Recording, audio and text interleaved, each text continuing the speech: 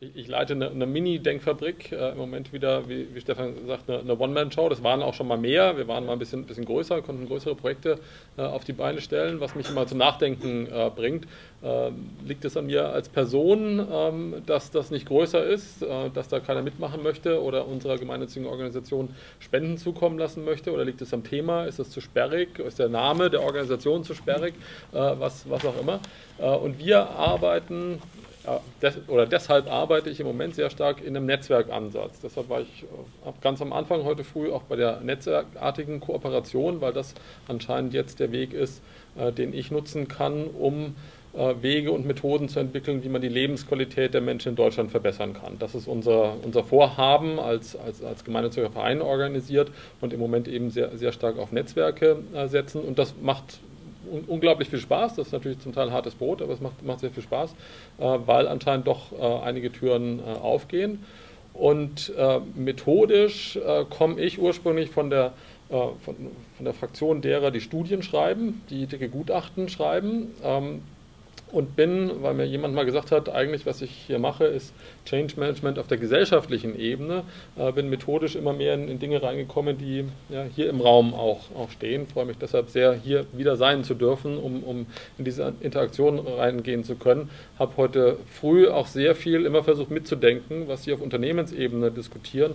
Was bedeutet das auf der gesellschaftlichen Ebene? Das war, das habe ich auch nicht so viel gesagt. Äh, das war sehr, sehr spannend für mich. Und jetzt können wir den Spieß mal umdrehen ähm, und die gesellschaftliche Ebene diskutieren. Dann können Sie mitdenken. Ja, ich habe ja heute Morgen gesagt, ich arbeite ähm, als ähm, Hochschullehrer, als Mediator und als Unternehmer. Und als Unternehmer habe ich so etwas Ähnliches gemacht wie Stefan, auch eine Denkfabrik gegründet mit Gesine Schwan. Das ist die Humboldt Viadrina School of Governance in Berlin, die sozusagen noch eine Sache im Kern hat, die ein bisschen anders ist, weil wir machen eigentlich nur Projekte, ähm, Forschungsvorhaben, Studien, was auch immer, wo wir davon ausgehen, dass es schon ein realweltliches Problem ist und dass wir interessiert sind, mindestens bis zu einem Pilotprojekt, was man auf der Straße sehen kann, zu kommen. Also wir wollen eindeutig darüber hinausgehen. Ähm, daraus ist unter anderem auch mit anderen zusammen ähm, die Internetplattform betterplace.org entstanden, ähm, die wir vor über fünf Jahren gegründet haben. Und, ähm, und ich glaube, ein Grund, warum ihr heute reden wolltet, ist die Initiative Schule im Aufbruch, die im August letzten Jahres gegründet ist und die sich dafür einsetzt, dass 35.000 Schulen in Deutschland die Chance bekommen, sich zu verändern von der Wissensvermittlung zur Potenzialentfaltung. Es ist ja eine unserer Kernthesen gewesen, dass Netzwerkökonomie grundsätzlich neue Fragestellungen für Unternehmen sich wieder stärker auch in der Gesellschaft zu verorten. Und das hat uns dazu gebracht, deswegen bin ich sehr froh, Stefan Bergheim, äh, dass, dass, du da bist und Stefan Breidenbach, dass du gekommen bist. Das ist sehr schön. Wir haben uns ja, sind uns ja immer wieder in unterschiedlichen Situationen über den Weg gelaufen. Und äh, die Idee für das Gespräch jetzt ist, dass wir das Thema, was wir hier behandelt haben, was Unternehmen beschäftigt, Next Generation Enterprise, Netzwerkökonomie, äh, aufzuzoomen auf Gesellschaft und gesellschaftliche Entwicklung. Das war ja eine These der evolutionären Transformation von Gesellschaft. Stimmt sie, stimmt sie nicht? Wie, wie kann Gesellschaft sich entwickeln? Wie kann, können Prozesse der Entwicklung von Gesellschaft gestärkt, initiiert werden? Was erlebt ihr da? Vielleicht fangen wir mit dem Zukunftsdialog Deutschland an und beleuchten dann die Initiativen Schule im Aufbruch und die, die lokalen Lebensqualitätsinitiativen, die du in letzter Zeit ja neben anderen Dingen auf den Weg gebracht hast, oder School of Governance. Ich denke, wir kommen zu ähnlichen Themen, ähm, zu ähnlichen roten Fäden, wenn wir, die, wenn wir auch unterschiedliche Beispiele mhm. beleuchten. Mhm. Ähm, ja, Zukunftsdialog ist ja eine Initiative gewesen, die wir sozusagen dann auch ausgetauscht haben im Vergleich mit der österreichischen Initiative. Was war denn da, worum ist es da gegangen? Was war die Idee? Und wie war, das, wie war dieses Konzept aufgebaut? Kann da die Politik oder die, kann da die Wirtschaft von der Politik was lernen mhm. oder nicht? Sollen wir mal beide sagen, was unsere, mhm. Rollen waren vielleicht. Ja. Vielleicht auch, was, was, unsere Vermutung war, warum, warum das, das existiert und, und wie, wie es zu, zustande kam. Also es gab äh, es ist ein, ein Zukunftsdialog der, der, deutschen Bundeskanzlerin, der über ein äh, Jahr hin, hinweg lief. Und mein Eindruck war, äh, dass er sehr stark motiviert war von der Kanzlerin, die gesagt hat, äh, es nervt ziemlich, dass ich ständig nur am Feuerlöschen bin, eine Krise nach, nach der anderen und bin immer nur, ich hetze von, von einer Baustelle zur anderen und eigentlich würde es doch mal Not tun, sich mal richtig längerfristig Gedanken zu machen. Und ich möchte das gerne tun. Ähm, Im chinesischen Arbeitsethos, ich hatte vor kurz vor ein Treffen mit dem chinesischen Staatspräsidenten ähm, und war ganz beeindruckt, wie, wie dort gearbeitet wird. Ähm, wir machen sowohl äh, die Feuerwehraktivitäten als auch das längerfristige Nachdenken. Wohl wissend, dass das ein Riesenakt ist, äh, auch für eine kleine Organisation wie das Kanzleramt, so auf die Beine zu stellen. Und ich möchte das gerne tun als, als Kanzlerin äh, mit Experten zusammen und mit Bürgern zusammen. Und dann wurde dort ein, ein Dialog ähm, strukturiert, gestrickt, wo all das passiert, wo diese Interaktion passiert, wo man sich eben Gedanken darüber macht, wie soll das Land denn mal aussehen in 10 bis 15 Jahren. Und in dem Kontext, in dem wir hier heute gesprochen haben, fand ich, waren noch zwei Dinge besonders interessant. Das erste ist, es gab einen Vorläufer von diesem Zukunftsdialog, was eine ziemlich unsägliche, übliche, äh, verdächtige Expertenrunde war, ähm, äh, die ähm, äh, zum Austausch von Statements führte und eigentlich keinen in der, in der Sache irgendwie weiter das hatte dann einen nachhaltigen Eindruck hinterlassen und dazu geführt, dass man sich neue Gedanken gemacht hat.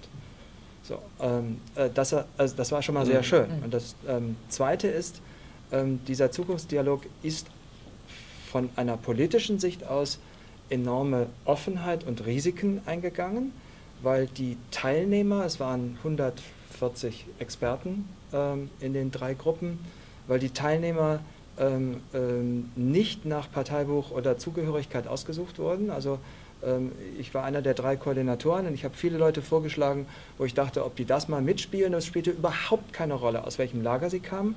Hauptsache, man konnte von ihnen erwarten, dass sie mitdenken. Konkret. Ja? Ähm, und damit war natürlich ein erhebliches Risiko verbunden, was die produzieren würden. Es würde jedenfalls nicht linientreu sein. Und das war ihnen wurscht. Und das ist erstmal eine erstaunliche Offenheit für eine dann doch farbig besetzte Bundesregierung. Es war ein, ein Projekt der Bundeskanzlerin primär. Ne? Das ist auch nochmal ganz wichtig. Da genau. können wir nachher Und es war die reden. Kanzlerin. Genau, es war genau. die Kanzlerin. Das war, war kein Projekt der Bundesregierung. Und sie hat es auch, sie hat's auch als Person, sie hat auch als, und das ist vielleicht ja. das dritte Interessante, sie hat es als Person durchgezogen ähm, und sich als Person daran beteiligt. Und ich würde sagen, also so netto Arbeitszeit ähm, mit uns zusammen 25 Stunden 30 Stunden, das ist für eine Regierungschefin eine Menge. Ja? An vielen verschiedenen Tagen, Abenden und so weiter. Ich habe auch ganz beeindruckend gefunden die Einfachheit der Fragen, an denen da gearbeitet mhm. wurde. Es waren drei, wenn ich das recht erinnere. Wie wollen wir zusammenleben? Wovon wollen wir leben? Wovon wollen wir leben und wie wollen wir lernen? Genau. Wie ist es zu diesen drei Fragen gekommen? Die sind ja, als ich das das erste Mal äh, beschäftigt habe, wie wir dann diesen Austauschworkshop hatten mit dem österreichischen Projekt, muss ich sagen, dass diese Fragen mich wirklich persönlich berührt haben, weil sie so einfach und so grundsätzlich sind. Könnt ihr dazu was sagen? Ja, ich war nicht waren, beteiligt in der Genese. Es waren, also, es waren ja. zwei hoch, also zwei, die ich jetzt wahrgenommen habe, mindestens zwei hoch engagierte Mitarbeiter ähm, in der Strategie, ähm, die ähm, zusammen mit Eva Christiansen, der Strategiechefin, an diesen Fragen gearbeitet haben. Ja, also das war eine Vorgabe. Mhm. Also die Fragen waren Vorgabe die und dann kamen, die kamen mhm. genau in der Form bei uns an ähm, und ähm, und ich fand das genauso beeindruckend, dass Sie das auf den Punkt gebracht haben. Und, und das waren diese, diese drei Fragen, die vorgegeben wurden, und zu jeder Frage nochmal sechs Arbeitsgruppen unten drunter, ja. Die ihre Themen hatten. Meine Arbeitsgruppe hieß Wohlstand, Lebensqualität und Fortschritt, was natürlich auch was mit meinen Themen zu tun hat. Ich glaube, da gab es dann schon wieder eine, Spiegelung mit den Personen, die man drin genau. haben wollte und den Themen, die man die bearbeiten Das war dann die offene ja. Phase, wo wir dann noch rumgestaltet haben, aber die Kernfragen waren gesetzt und waren sehr gut gesetzt. Ja. Das heißt, es gab, diese, es gab die drei Fragen, darunter gab es die Expertengruppen und die wurden sozusagen, da gab es eine Autonomie der Koordinatoren und welche Leute eingeladen wurden? Sagen wir mal, das haben Vorschlags wir abgesprochen, ja. aber ähm, das war nicht so, dass da irgendeiner einen, einen, reingesetzt hat, den man nicht haben wollte oder einen abgelehnt hat. Ja. den man unbedingt haben wollte. Ja? Jetzt ist ja, wenn wir hier über Unternehmensentwicklung reden und auch wenn stellt sich die Frage natürlich bei gesellschaftlichen Themen auch, wie sah die Architektur oder das Design dieses Prozesses aus? Was wir schon wissen, die Kanzlerin hat sich engagiert, offensichtlich. Es gab die Projektleiter in der, im Kanzleramt oder das ein kleines mhm. Projektteam. Mhm. Es gab die drei Themen mit Koordinatoren, darunter die Gruppenleiter und Expertengruppen, die gearbeitet genau. haben. Das war's? Gab es mehr? Das war der Expertendialog. Die, okay. die Gruppen Nein. haben sich jeweils zweimal getroffen, die, die Themenbereiche haben sich zweimal getroffen, glaube ich, mit der Kanzlerin. Mehr, also einmal mehr. separat ja, und, ja. und zweimal jeweils, jeweils mit der Kanzlerin. Und natürlich viel Arbeit in den, im, im Stab politische Planung, die noch Leute von außerhalb äh, reinbekommen haben, vom, vom ähm, Bundespresseamt. Da war, war sehr viel Arbeit, aber das war im Prinzip der Expertendialog. Und er war, was man dazu sagen muss, er war moderiert. Ja? Mhm. Ähm, das war auch ein Petitum von einigen von uns, dass wir gesagt haben, wir wollen das nur moderiert. Ähm, und es war auch deutlich, dass die Veranstaltungen, die gut moderiert waren, auch bessere Ergebnisse okay. produziert haben. Okay. Ähm, also moderiert nicht von uns als den mhm. äh, inhaltlichen Gruppen und Koordinationsmenschen, sondern von externen Moderatoren. Und ähm, nicht von Journalisten. Nein, nein. Also keine, genau, Moderatoren. Also Leute, von denen man die grundsätzliche Vermutung hatte, dass, man wussten, dass sie wussten, was sie taten. Okay. Äh, und, äh, ähm, und das andere ist, dass ich glaube, was interessant ist an diesem Prozess ist, das Ergebnis sollten, also Vorausschau, fünf bis zehn Jahre, eher zehn, ähm, und Ergebnis sollten sein, konkrete, umsetzbare Handlungsempfehlungen. Im Jetzt, in der Vorausschau gewonnen, was sollte man jetzt tun. Und das war gleichzeitig für, ich glaube, für eine große Gruppe der unter den Experten, um nicht zu sagen eine überwältigende Gruppe unter den Experten, obwohl sie so, so mit, mit diversen ähm, Hintergründen ausgesucht waren, eine extreme Herausforderung. Aus einer Flughöhe, man sollte mal, man müsste mal, man könnte mal, und galaktisch überlegt, ist es so, runterzukommen auf eine Ebene, wo man sagt, und was sollen wir jetzt tun? Und da müsste ein Vorschlag kommen. Das war die Herausforderung. Ja, und wenn man jetzt sozusagen einen großen Sprung nach vorne macht, es gibt ja den, den Bericht, den kann man sich auch im Internet runterladen, wenn man Interesse hat. Das, mhm. Ja, so sieht er aus. Dann gibt es ein Buch noch. Ne? Und äh, wenn ihr so erzählt, was vielleicht ganz besonders interessante Ergebnisse sind, wo ihr sagt, Mensch, das hat was. Damit man so eine, eine Orientierung kriegt, was das sein könnte. Da ist ja was entstanden. Ja. Ne? also, Sag du. Es ist natürlich, aus meiner Sicht, ist, ist unglaublich viel auf der Prozessebene äh, ja. entstanden. Es sind unglaublich viele Begegnungen entstanden, es ist sehr viel Verständnis, gerade auch im Kanzleramt äh, dafür entstanden, wie zum Beispiel Wissenschaft tickt, wie Wissenschaft äh, funktioniert, äh, worauf man sich da verlassen kann und, und worauf nicht. Die, die inhaltlichen äh, Ergebnisse, die, die konkreten Handlungsvorschläge für die Bundesregierung, die waren von der Qualität sehr unterschiedlich. Da gab es einige dabei, die waren hochgradig spannend, wo ich sage, okay, super. Und andere, wo ich sage, ja, Sag kann man auch machen. Sag mal ne? also ich, ich kenne natürlich nur die, die, die, Beispiele aus meiner Arbeitsgruppe, ja. die natürlich alle ganz, ganz toll äh, sind. Ganz, ganz das war ja auch deine Gruppe. Genau, war ja meine Arbeits, Arbeitsgruppe. Also da haben wir zum Beispiel vor, vorgeschlagen, einen, einen Bürgerdialog ähm, weiterzuentwickeln. Über den müssen wir vielleicht auch gleich nochmal drüber reden, über den Bürgerdialog, der ja hier auch parallel noch, noch liegt, äh, wo wir eine, äh, wo, wo für die Bundesrepublik eine Vision 2040 entwickelt werden sollte. Wie wollen wir in Zukunft insgesamt leben, um daraus, und das ist die, der, der Duktus in, in, in, meiner Arbeit auch im, im Zentrum und in, in, den Vorschlägen im, im, Zukunftsdialog, um daraus abzuleiten, wie messen wir denn Lebensqualität, nach welchen Kriterien sollten wir denn Lebensqualität messen und um daraus auch von der Messung des Zustandes und, der, äh, und des erwünschten äh, künftigen äh, Zustandes abzuleiten, wo sollen wir denn handeln und da auch einen, einen entsprechenden äh, Fortschrittsbericht Lebensqualität der Bundesregierung ähm, abzuleiten. Und das glaube ich auch was Schönes, was noch nicht erwähnt wurde. Die Bundeskanzlerin hat sich tatsächlich am Ende des, des Prozesses auch committed, einige der Vorschläge aus jeder Gruppe, so zwei, drei, auch weiter zu verfolgen. Das, fanden, das war auch für die Leute im, im Staatspolitischen Planung eher überraschend, dass sie wirklich so konkret werden würde. Ähm, für uns, glaube ich, alle auch. Aber eigentlich macht es Sinn, dass, dass diejenige, die das in Auftrag gibt, äh, die uns so, so lange so viel hart, hart arbeiten lässt, dann auch was damit macht. mit, mit, diesen, äh, mit, mit, diesen Dingen. Und das nicht nur sagt, ah, ja, schön, vielen Dank für das Gutachten, sondern auch wirklich, wirklich reingeht. Und das war sehr, sehr konkret, äh, was da ausgesucht wurde. Äh, zwei, drei Vorschläge aus, aus jeder Gruppe. Treffen der Kanzlerin mit Minister XY zu der und der Frage oder Prüfung durch das Bundeskanzleramt oder Prüfung so und so. Und einige von denen werden jetzt auch, äh, auch ganz konkret umgesetzt. Und es gibt ein Monitoring, ne? Genau. Und es ja. gibt dann immer mal wieder ein Update, was, ja. was wir kriegen mit dem Vorschlag so und so. Sieht es vielleicht ein bisschen schlecht aus, dann müssen wir bis zur Bundestagswahl warten, aber mit dem anderen Vorschlag, da ist dieses und jenes passiert und das wird vielleicht auch mit etwas verknüpft, was es schon gibt. Äh, da gibt es dann in eine Demografiestrategie zum Beispiel, da sind auch schon im Prozess einige Sachen reingelaufen. Mhm. Ähm, mit, mit existierenden Initiativen kann man das noch wunderbar verknüpfen. Also eine, eine Geschichte war, ähm, die jetzt dann sehr weit in die Zukunft geht, der Vorschlag in, im Bildungssystem dieses Zwei-Konten-Modell einzurichten, was die einfachste und, glaube ich, zukunftsweisendste Lösung wäre. Auf dem einen Konto kriegt man bei der Geburt eine Summe Geldes, mit der man ein Leben lang Bildung bezahlen kann, und zwar dann, wenn man sie braucht. Und wenn man mit 40 den Bachelor braucht, dann wird er halt dann bezahlt, was für die Institutionen bedeutet, dass sie sich umorganisieren müssen und nicht mehr nach Lebenszyklen anbieten, nach angeblichen Lebenszyklen.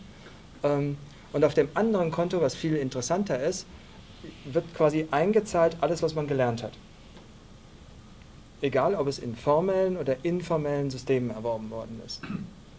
Ähm, Natürlich habe ich bei informell erworbenen ähm, Einheiten die Herausforderung, das mit Portfolios ja. zu bewerten. Und so. Die EU hat da, ist da schon lange dran, hat auch Methoden entwickelt, die sind noch zu kompliziert. Das kommt aber irgendwie. So. Und wenn ich dann von, bei diesem Konto was brauche, dann gehe ich da dran und sage, ich bräuchte jetzt einen formalen Abschluss, wenn es den dann noch gibt, einen Bachelor oder einen Master oder was auch immer, dann greife ich da rein und dann hole ich das raus, was ich habe und dann sagt die Stelle, 80% hast du schon, 20% brauchst du noch. Mhm. Und dann habe ich ein komplett durchlässiges System, wo die Frage, ob ich ein Abitur habe, um studieren zu müssen, brauche ich heute prinzipiell eigentlich nicht, weiß nur keiner. Oder warum ich jetzt unbedingt einen Studienabschluss brauche, um zu promovieren oder ähnliche Fragen erübrigen sich, weil es kommt dann mehr auf die Qualität an dessen, was ich mache. So, das wäre die Vision. Okay. Also wir haben jetzt so einen Ausblick zu den Inhalten gekriegt. Ich würde gerne noch mal kurz zurück zur Architektur, um das noch ein Stück abzurunden. Ähm, ich habe in den Gesprächen schon den Eindruck gehabt, dass die Arbeit in Expertengruppen ein ganz zentrales Herzstück war, dieser Initiative, die ja auch interdisziplinär war und so wie du beschrieben hast, doch geöffnet hat. Mhm. Also auch ein Loslassen war, das haben wir ja heute auch schon ein paar Mal gehabt, und auch so ein bisschen über Grenzen gehen, also nicht nur selbstverständliche, the usual suspect sozusagen, aber dass es auch eben den Bürgerdialog gab und es gab auch eine 2.0, einen Internetauftritt mit interaktiven Elementen, was ja auch ein Wagnis gewesen ist, muss man sagen, für die Politik. Könnt ihr dazu noch was sagen? Wie ist das entstanden? Was waren da die. Ne? Also, man kann das ja. sozusagen Analogien überlegen, was wäre denn, wenn ein Unternehmen so grundsätzliche Fragen stellen würde. Ne? Und mhm. wie, wie, ist die, wie ist das angepackt worden mit Bürgerdialog als Ergänzendes und dieser Webauftritt? Vielleicht noch einen Satz ja. zu dem Expertendialog, weil Gern, ja. ähm, es ist schon hochinteressant, wenn ähm, sich so viele Experten, sogenannte Experten treffen und dann Mitarbeiter des Kanzleramtes zwischendurch immer wieder sagen, hey Leute, ihr sollt doch querdenken. ja, das ist schon, das hat schon eine interessante Note. Ja. ja? Ähm, weil es denen dann auch manchmal zu expertenhaft war. Okay. Ja? Und ich sage, ja, ne, also nur schaut doch mal, ob es nicht irgendwas Neues gibt, was ihr runterladen könnt. Ja? Also das, das könnte bedeuten, wenn es noch eine dritte Initiative gäbe, dann wird man die Einladungspolitik vielleicht nochmal überdenken. Dann haben wir schon gesagt, würden wir nochmal völlig andere Netzwerke anschauen, ja. um die Leute zu kriegen, die wirklich genau auf der Flughöhe auch was vorschlagen. Ja. ja? Okay. Aber vielleicht noch, noch, spannend, sehr spannend. Ja, noch, noch, noch, zwei Beobachtungen, auch wer, wer nicht mit dabei war in, die, in diesem Prozess. Ähm, die, die verschiedenen Abteilungen im Bundeskanzleramt waren nur ganz am Rande eingebunden. Die waren im, im, Vorgängerprozess eigentlich gar nicht eingebunden, die waren mal eingeladen, kamen aber im Regelfall nicht. Und jetzt waren sie auch eingeladen. Und ein, bei einigen stieß das dann auch auf ein bisschen Gegenliebe. Also es geht ja um, um einen Change Management Prozess letztendlich. Und wenn ich nicht die, diejenigen mit einbinde, die dann nachher umsetzen ähm, sollen oder, oder dürfen, dann wird es natürlich entsprechend mhm. schwieriger. Und da, das ist die, die Schnittstelle, wo es, wo es noch hakte, wo auch die Hoffnung ist in der Weiterentwicklung. Stefan Breinbach sagte, dieser Prozess war jetzt schon eine Weiterentwicklung des letzten Prozesses und die Hoffnung ist, dass wir dass irgendwann ein weiterer Prozess stattfindet, wo dann auch die, die Abteilungen im Kanzleramt intensiver eingebunden sind und, wenn es richtig hochkommt, auch die verschiedenen Bundesministerien eingebunden werden. Dass es wirklich ein, dann ein Prozess der Bundesregierung wäre. Das ist so meine wahrscheinlich Illusion oder, oder Utopie. Ich weiß nicht, ob sowas je, je möglich ist, aber um nur aufzuzeigen, was nicht passiert ist in, in diesem Prozess. Was dann später bei der Umsetzung natürlich hemmt. Ne? Genau, was dann Wenn da viel passiert ist und da ganz wenig. Genau, ja, also das, das, ja. so weit ist man nicht gegangen, weil man, na, wahrscheinlich aus guten Gründen, und das wird den Unternehmen wahrscheinlich ganz ähnlich sein, das ja, einer der, nämlich mit rein. Einer der Gründe war, dass man erwartet hat, dass von den Ministerien gleich so viel Gegenwind kommt, dass das alles weggeblasen wird. Ne? Was auch nachvollziehbar ist, wenn man die Architektur der Bundesregierung sieht. International läuft das ja unter dem Stichwort Foresight-Prozesse. Ne? Ähm, und wenn man mal da reintaucht und sich sagt, okay, da soll eine Gruppe von Leuten fünf bis zehn Jahre in die Zukunft schauen und bekommt auch regelmäßig gesagt, dass sie die Einzigen sind, die das tun, dann ist das vielleicht eine gute Nachricht, aber da steckt natürlich auch eine schlechte Nachricht drin, wenn es die Einzigen sind. Weil, die Einzigen? Naja, also uns wurde gesagt, in der Bundesregierung tut das keiner. Ach so, ja. Ja? Okay. Und jetzt frage ich mich, wie man, ähm, wie man in, in, in, diesem, in dieser Umgebung politische Strategien entwickeln will, wenn man nicht fünf bis zehn Jahre versucht, in die Zukunft zu sehen. Und das dann gelegentlich zusammengesetzten Expertengruppen überlässt. Also mit anderen Worten, ich kann mir nicht vorstellen, dass in der Architektur eines Landes, Klammer auf, oder eines Unternehmens nicht Gruppierungen sind, die unabhängig, ohne Tagesgeschäft, in die Zukunft schauen können und das mit allen zur Verfügung stehenden äh, Instrumenten machen.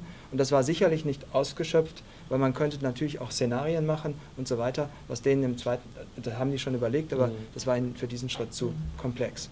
Ja, und ich kann mir nicht vorstellen, wie man das anders machen will. Das muss man etablieren. Es geht gar nicht anders. Vielleicht noch, noch, noch eine Beobachtung auch aus, aus der Arbeit in diesen Expertengruppen. Das waren jeweils sechs bis sieben. Äh, die sich in einer Gruppe äh, zusammenfanden, wo wir als, als AG-Leiter relativ viel Freiheit hatten, das war, war, ja schon erwähnt, die auch zusammenzustellen, was uns nicht unbedingt leicht fiel, schon in der Auswahl. Und wo die Arbeit auch ja, nicht immer leicht war, erstens die runterzuholen von der Metaebene auf ganz klare politische Handlungen und sie, das war in meiner Arbeitsgruppe ein besonderes Thema, auf irgendeine gemeinsame Intention, auf ein gemeinsames Vorhaben ähm, zusammenzubringen. Äh, in meiner Arbeitsgruppe war es, regelmäßig so, dass der eine kam halt aus, Blick, aus dem Blickwinkel drauf und hat immer wieder betont, wie wichtig dieser Blickwinkel ist. Und der andere aus jenem Blickwinkel und hat immer wieder betont, wie wichtig dieser. Und noch ein anderer. Und da etwas Gemeinsames draus zu stricken, das hat ähm, ja, mir einige äh, schlaflose Nächte mhm. und, und graue Haare äh, beschert. Die Leitfrage ist ja, wie entwickelt sich Gesellschaft? Wie lernt Gesellschaft? Und das ist Zukunftsdialog sozusagen eine, eine Intervention, ne, um so ein, ein Zukunftsbild zu entwickeln und dann zu überlegen, wie kann man das wieder sozusagen andocken, einerseits an die Politik, aber auch andocken an Öffentlichkeit, Zivilgesellschaft, aber auch andocken an Medien. Könnt ihr da noch kurz was zu sagen? Gab es da was? Es gab die Bürgerdialoge. Ja, ja also die, die Bürgerdialoge also Element, online ja. waren parallel geschaltet und war das erfolgreichste, was je sozusagen online als Bürgerdialog gemacht wurde. Du hast mir das heute Morgen, heute ja. Mittag gesagt, die heute, heute noch ist mehr Traffic auf der Seite als auf allen Bundesministerien ähm, Internetauftritten zusammen. Ja? Ähm, und ähm, und 10.000 relativ substanzielle Bürgermeldungen ähm, sind schon erstaunlich, auch wenn am Ende dann durch das Voting die Cannabis-Initiative mal wieder vorne rauskam. Aber das war sozusagen das, nur, das, das, gehört dazu. Das, ja. das ist genau das, wäre, was wir ja. bei zwei Und die kämpfen hatten. ja auch für eine gute Sache. Also, so. also vielleicht, muss man, vielleicht muss man zu der Plattform sagen, man kann dort Vorschläge machen für Gesetzesänderungen, die, die, die, die, gleichen Fragen, die haben die gleichen Aufgaben genau. wie, wie, wir, die, die gleichen drei Fragen, wovon wollen wir leben, wie wollen wir zusammenleben, wie wollen wir lernen? Äh, und konnten konkrete Handlungsvorschläge machen. Was, muss man auch dazu sagen, den Bürgern noch schwerer fiel als den Experten, wirklich konkret zu werden, Handlungen sondern da wurden auch relativ viele Befindlichkeiten auch artikuliert. Was aber auch ein, ein großer Wert, äh, würde ich sagen, ist. Und man konnte abstimmen? Konnte Voting machen, Da kam dann eben Cannabis ganz, ganz nach oben. Man konnte kommentieren äh, diese Vorschläge.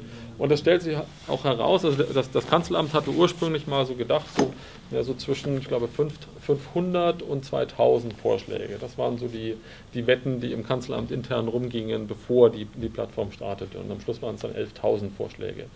Was dann auch bedeutet, dass man sich kaum noch zurechtfindet auf der Webseite. Dafür war die auch einfach nicht ausgelegt. Äh, da irgendeinen Sinn draus zu machen für die Mitarbeiter, da haben die wirklich viel Zeit reingesteckt, auch mit dem Bundespresseamt, zu gucken, was, was treibt die Menschen denn um? Eben nicht nur Cannabis, sondern was, was treibt sie in der Breite um?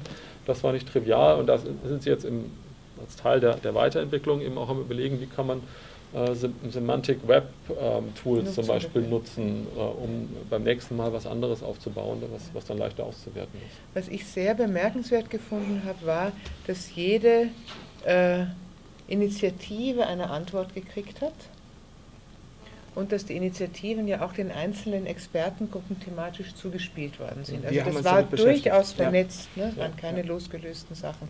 Also das ist einfach auch ein riesiger Arbeitseinsatz in dem Sortieren gewesen und in dem, ja, genau. Wenn man aber deine Frage jetzt nimmt, wie gesellschaftliche Veränderung ja. funktioniert, da kann man jeweils eine im Prinzip triviale, aber trotzdem nennenswerte Botschaft aus dieser ganzen Geschichte ist, dass gesellschaftliche Veränderungen gehen nur noch, wenn Politik, Wirtschaft und Zivilgesellschaft zusammen an solchen Sachen arbeiten. Sonst gehen sie gar nicht, aus meiner Sicht jedenfalls. Ja. ja? Ähm, und, und egal wie die Formate aussehen, die das zusammenbringen, aber ähm, ohne diese Dialoge, ohne dieses Zusammenbringen, ohne diese Perspektiven ernst zu nehmen und gleichzeitig wieder in einer multiperspektivischen Sicht aufzulösen, wird es nicht gehen. Wobei man, glaube ich, auch sagen muss, in dem Prozess war die Wirtschaft nicht so prominent beteiligt. Ja, unterschiedlich. Ja. Es waren einige Gruppen, Unternehmer ja. in manchen Gruppen äh, aktiv, die Verbände waren eigentlich ganz außen vor. Weil Ausnahmen bestätigen die Regel weil, aber das lag ja, ja wiederum daran, Gründe, dass, ja. dass sie gesagt haben, sie wollen, die Leute, die dort drin sind, sollen nicht Sprachrohre sein. Ja? Also es war, gab Diskussionen, soll der und der rein, der der und der Organisation zugehört, um Gottes Willen, der kann ja keinen Ton neben seiner, seiner sozusagen seiner Tonart sagen. Ja? Und dann, dann bringt es auch nichts. Ja? Ähm, also in dem Moment, wo ich Vertreter einlade von bestimmten Richtungen, habe ich das Problem, dass die aus ihrer Haut nicht rauskommen. Ja? Also eine These ist, dass die Unternehmen, also aus, der System, aus dem Systemischen her betrachtet, aus ihrer Eigenlogik und ihrer Geschlossenheit raus müssen. Absolut. Und äh, Zusammenspiel Politik, Wirtschaft, Zivilgesellschaft, das ist ja in dem Sinn kein System, aber ein wichtiger Spieler, Spieler in dem Feld. Und äh, die Rolle der Medien. Tja, ja, ja, ja beschränkt. Klar, ähm, in, in dem Moment, also gerade in so einem politischen Prozess, wenn ich die Medien zu früh da dran lasse, dann zerschießt sie es. Ja? Ähm, und das war, glaube ich, ein schwieriges strategisches Spiel für die, die es machen mussten. Ähm, ähm, aber es war im Prinzip richtig, das nicht von vornherein mit großer Medienbeteiligung zu machen, weil dann über einen Zeitraum von ein oder anderthalb Jahren so Erwartungsmanagement zu betreiben, ist, glaube ich, grauenhaft. Was, es war auch interessant, weil die, die Leiterin des, des Stabes politische Planung auch gleichzeitig die Kommunikationsberaterin der Kanzlerin genau. ist. Für die war das ein richtiger Spagat, zu sagen, nein, wir wollen das erstmal intern halten. Es geht ja. um ein Lernen innerhalb der Organisation, mit allen gemeinsam. Und wir informieren irgendwann auch die Presse darüber. Da stellt sich aber heraus, dass die Presse nicht wirklich verstanden hat, was da passierte. Die konnten das nicht, nicht wertschätzen. Weil es eine andere Art das von war Politik an, war. Genau. Das war nicht eine Schlagzeile und man fordert, äh, Kanzlerin fordert dieses oder jenes, was man hätte zerschießen können, sondern es war ein Prozess, der sich mit Zukunft beschäftigt. Oh, haben wir noch nie gesehen. Was soll das eigentlich? Können wir nicht mit umgehen? Was, welche Schlagzeile sollen wir für unsere Leser daraus produzieren? Ja. Ich würde noch mal zu den Gestaltungsprinzipien. Also wir haben ein Thema, das ist Zivilgesellschaft, Politik, Wirtschaft. Siloübergreifend, mhm. das ist das Entscheidende. Genau, das ist entscheidend. Ähm, welche anderen Prinzipien würdet ihr daraus noch ableiten für solche Lernprozesse? Ja, die Offenheit der, Offenheit Beteiligten, der Beteiligten, also dass ja. man sicherstellt, dass, dass man nicht diejenigen einlädt, von denen man schon von im Vorhinein weiß, was sie oh, sagen werden. Ähm, und dass sie sich nicht, dass auch keine Menschen sind, die verpflichtet sind, dass sie das sagen, was sie von ihren entsprechenden Institutionen vorgegeben bekommen. Ja? Ich glaube, das war das zweite Prinzip. Also Offenheit der Beteiligten ähm, und gleichzeitig natürlich ein Vertrauensraum. Mhm. Ja? Und ganz wichtig, denke ich, die, die Unterstützung von ganz oben. Ja. Wenn, wenn, das nur Mitarbeiter im Stab für sich organisiert hätten und aus, aus ihrer eigenen äh, Perspektive eingeladen hätten, dann hätte das nie so funktioniert. Wenn die ja. Kanzlerin nicht komplett dahinter gestanden wäre und sagt, ja, ich möchte das, unterstütze das, ähm, bin mit meinem Namen, mit Bild und allem dabei und lade persönlich auch ein, bin auch persönlich dabei bei den Gesprächen, antworte auch, lade auch die Bürgervorschlagenden ein, die mit den Top 10 Vorschlägen, die durften zur Kanzlerin, also die hat sich eingebracht. Also man, man würde ja wahrscheinlich, wenn wir das auf Unternehmen übersetzen würden, würde man sagen, das Thema Explore, Zukunftsarbeit, ist ein Stück ausgelagert worden. Ne? Also es gab mhm. sozusagen die Kernmannschaft in der, im Kanzleramt. Die es verantwortet hat. Die es mhm. verantwortet hat und konzipiert hat und designt hat und auch die Plattformen geschaffen hat. Und dann wurde es ausgelagert an Communities von Experten. Und Beteiligten. Und Akteuren. Beteiligten. Und, ja, also und Akteuren durch den kind, Experten durch den klingt so ab, abwertend, ja, was es auch ist. Auch ne? ähm, nein, also jedenfalls in meiner Welt. ja, also. aber, aber ähm, es waren also unterschiedliche Akteure. Aber vielleicht sagst du noch mal Akteure, weil äh, wenn, was meinst du, was, was, unterscheidet für dich Experte von Akteur, weil das, damit wir es besser verstehen? Äh, dieser, das Bild von dem Experten ist es immer, dass es ein meistens Wissenschaftler ist, der aus okay. irgendeiner Disziplin äh, quasi aus einem Loch auftaucht, dann ein, ein, ein Packen von äh, grundsätzlichen Erkenntnissen von sich gibt und dem Loch wieder verschwindet. ja? und, äh, und in dem Fall waren sehr viele äh, gesellschaftliche Akteure dabei, die, ein, die einen ganz anderen auch praktischen Hintergrund hatten. Leute, die Change-Prozesse in großen, in großen Städten gemacht hatten, ähm, ähm, ähm, aus verschiedenen, zum Beispiel aus der Bundesagentur für Arbeit, erstaunliche Menschen dabei, die das befruchtet haben mit ihrem Wissen. Okay. Ähm, Internetunternehmer, ganz unterschiedlich. Mhm. Ja, aber es ist ja. nochmal eine wichtige, es verändert das Bild, wenn du diese Beispiele ja. gibst. Ja. Also für also mich ist Experte jemand aus, aus einer komplexen, äh, nicht, nicht aus einer komplexen, sondern aus einer komplizierten Struktur. Der kennt die Lösung, der teilt sie uns mit und wir setzen sie um, Ende der Diskussion. wir haben aber Komplexität. Wir haben Komplexität, genau. genau. Und ich finde, ein wichtiges Element ist auch dieses, sich auf grundsätzliche Fragen zu konzentrieren, die wesentlich sind und ganz viel Offenheit zulassen. Ja. Aber zugleich immer den, den persönlichen, die sind ja sehr persönlich, ne, diese Fragen, also und sofort Bilder.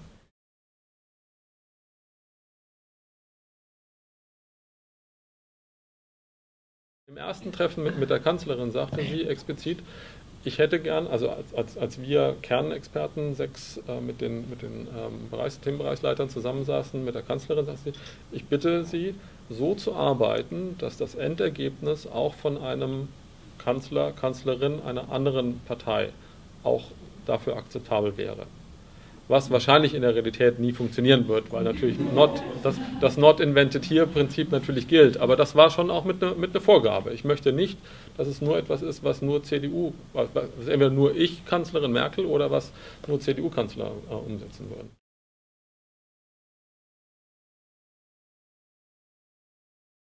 Wir waren ja ausgegangen von diesen äh, drei großen Fragen, äh, hatten ja auch beide gepriesen, wie offen der, der Prozess äh, grundsätzlich war, aber er war dann doch wieder offen in einem gewissen Rahmen.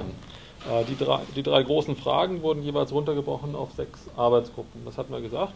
Und in jeder der Arbeitsgruppen wurden die, die Arbeitsgruppenleiter gebeten, die, die, großen Trends zu skizzieren, die, die sie da beobachten, die großen Herausforderungen und nochmal Fragen zu formulieren, nochmal detailliertere Fragen. Und danach wurden dann die Teilnehmer äh, ausgewählt, ob sie Antworten auf diese Fragen äh, geben können. Und am anderen Ende dieser Box war, es sollten konkrete Handlungsempfehlungen für die Bundesregierung rauskommen.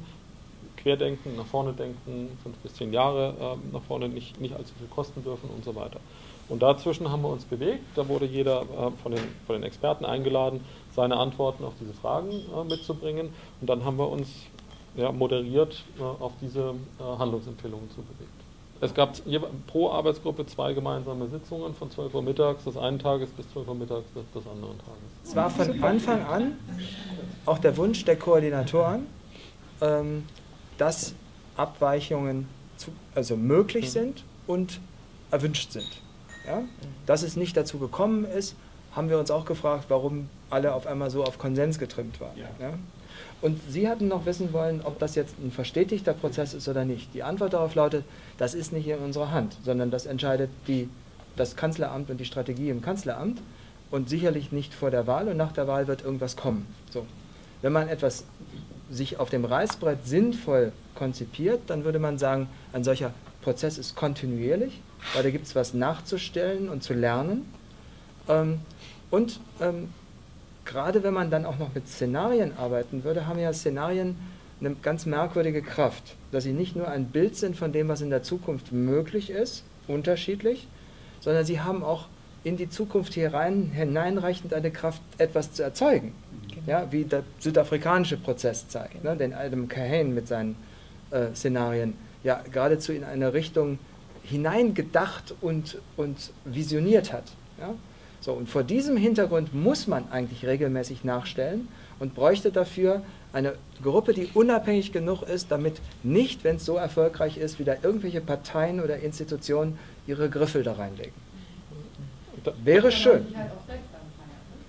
Oder sich selbst feiert oder all diese Begleiterscheinungen von Zeit.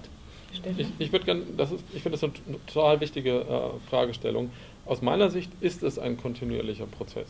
Ähm, was wir hier gesehen haben, war ein sehr großer Impuls in einem kontinuierlichen Prozess. Das trägt jetzt weiter, das geht jetzt in die Ministerien rein. Da gibt es Folgeaktivitäten auf den unterschiedlichsten Ebenen.